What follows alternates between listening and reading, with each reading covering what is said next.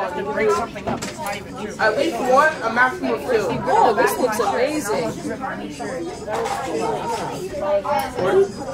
Yeah, bro, you literally balled it up like this. Oh my gosh.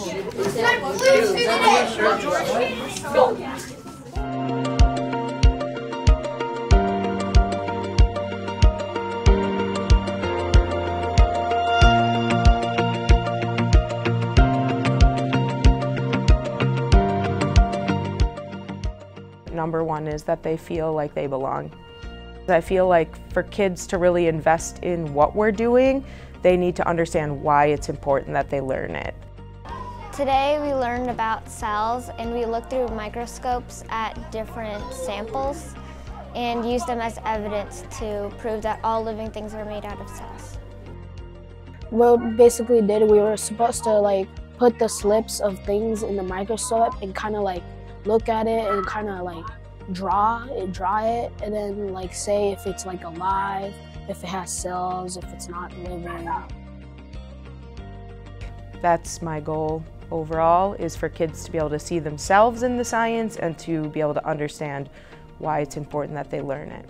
Do you think this has made of one cell or multiple cells? Multiple cells. Specifically skills like thinking critically, uh, gathering evidence, being able to apply the information to like a real world context would be a goal for kids always, but number one is that they feel like they belong.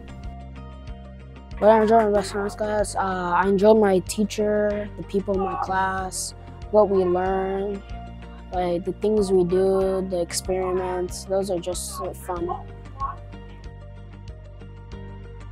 She's very passionate about what she teaches and she's really good at explaining things even when they're like complicated.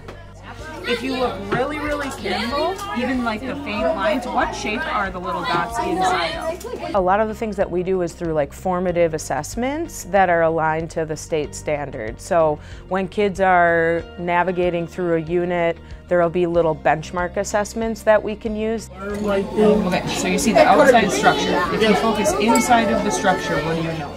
Science is the best. Science is a place where kids can build math skills, build literacy skills, but do so in a way where they're able to like ask questions about the world around them. And there's something kind of magical about that.